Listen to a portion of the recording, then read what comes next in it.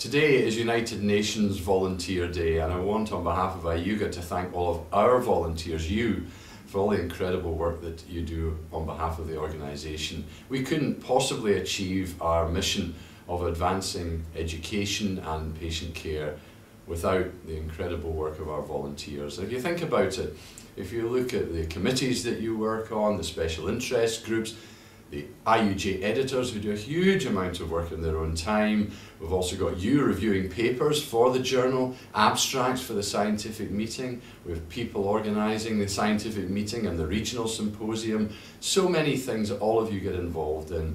I'm sorry if I've missed out anybody, but there are a huge number of volunteers working for IUGA. Now why do we do all this? Well, it's because IUGA is a very special society for all of us and we have it dear in our hearts and we want to see it move onwards and upwards and become the premier urogynecological association that it is. Um, now I know how difficult it is to be a volunteer through personal experience. Um, we all put a huge amount of time and effort in. We come home after a busy day at work and then we get down to doing IUGA business. And that is a personal sacrifice and a lot of commitment. And the sacrifice is often the family and friends. And so I want to pay a very special debt of gratitude to the families who support us in our work, give us the time and are tolerant of us doing this. So to them, thank you very much indeed on behalf of IUGA. We seem to have turned the corner financially and that is no small measure due to the hard work, not just of the paid staff, but the volunteers.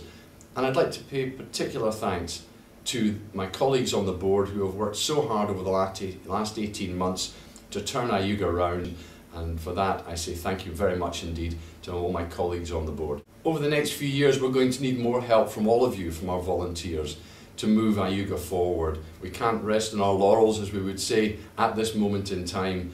We can't be complacent, we have to continue that hard work and I believe if we do that, we're going to be an extremely successful society. So do keep up the hard work. Thank you so much for all you do on behalf of IUGA and I look forward to seeing you in Cape Town.